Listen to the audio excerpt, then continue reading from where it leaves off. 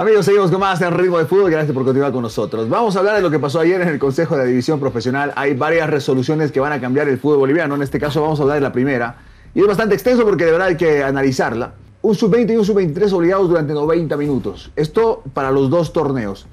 Esta es la, más, digamos, polémica. Creo que muchos técnicos han hablado respecto a este tema, periodistas también, hemos dado nuestro punto de vista.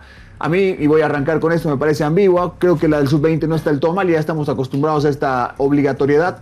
Pero la del sub-23 me parece totalmente innecesaria y me parece algo que es, eh, va en detrimento y además en contra del progreso del fútbol boliviano. Estoy totalmente en desacuerdo con los 90 minutos. Para mí no tendrían que estar todo el partido porque al final de cuentas perjudica también el planteamiento del técnico esto. Condiciona, perdón, condiciona totalmente el, trabajo del técnico. Es una condicionante, tal cual. Pero totalmente, o sea, si te, lesiona a los 30 minutos tu sub-23, vas a tener que poner otro. Si te, se te lesiona ese al minuto 60, vas a tener que poner otro. O sea, eh, condiciona totalmente el trabajo del técnico y, bueno, es algo que realmente le baja el nivel a la competición.